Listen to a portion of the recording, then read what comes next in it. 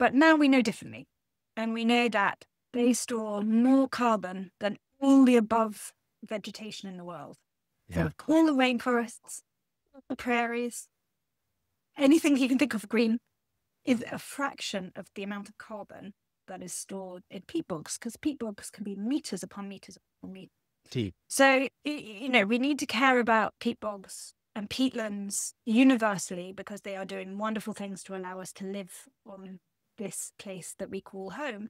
But as gardeners, we are unwittingly in this act of trying to be caring for our environment and do the right thing. We're often extracting something that has a huge environmental input.